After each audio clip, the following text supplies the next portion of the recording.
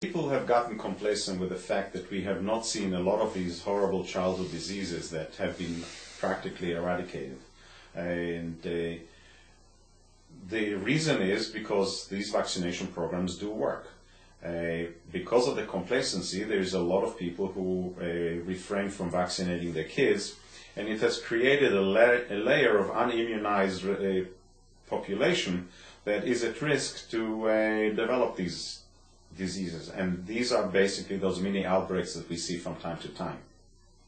Unfortunately, with the complacency, uh, people have not seen the hundreds of thousands of uh, patients that have died from polio, or the thousands of babies that have been brain damaged from measles, or uh, the uh, hundreds of thousands of babies that have not been uh, saved uh, by from pertussis and got brain damage or died due to pertussis or what we call whooping cough.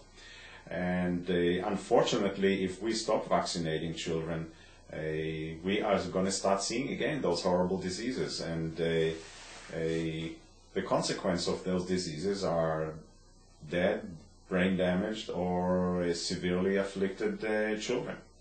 A very famous pediatric infectious disease guy, Saul Krugman, used to be at NYU, said in a lecture one time I attended, before vaccines, one kid in six would have died before the first grade, before the vaccines are around. You don't hear that anymore. I don't know if that's accurate, but it always stuck in my head. Was saving one kid in six from death.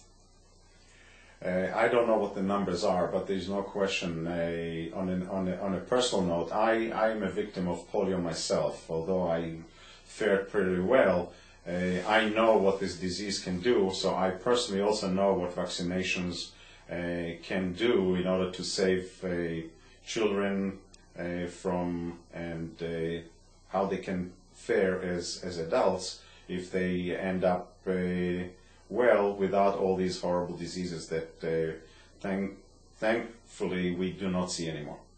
Well, in the 50s, kids didn't go to camp so quickly because they were afraid of outbreaks of polio.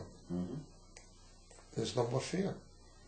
Now, polio has basically been totally eradicated in the United States. There's a little pocket in Iraq, I heard, and people go around risking their life immunizing the children of Iraq because it's a very dangerous country to go around mm-hmm. doing those things. So it, it is a little pocket here and there, but it's very rare, thank God. Yes. While we talk about the fact that we don't see diseases that uh, have been eradicated by vaccinations, such as uh, polio, for instance, a classical example is uh, smallpox. I mean, we do not see smallpox anymore. That's a disease that has killed over the years and over the centuries millions and millions of people, and uh, basically has been eradicated initially through uh, vaccination and lately through good health care. Uh, so uh, there's no question that uh, people who avoid vaccinating their children, although they may be looking at the the uh, small change uh, return, uh, they're missing the whole picture of and the danger that they may pose on their own children and, and society as a whole. I mean, there's no question. Any drug, any vaccine, there's always a little concern.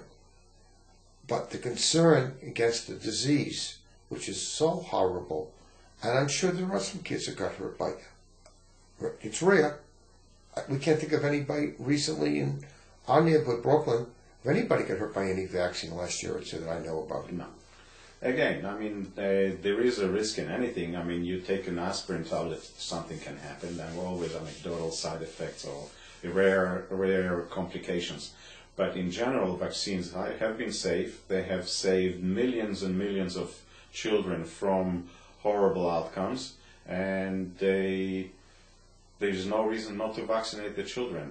One of the reasons, again, that we have all this movement and fear of uh, vaccines is because we haven't seen the horrible effects of those real horrible diseases and what they're capable of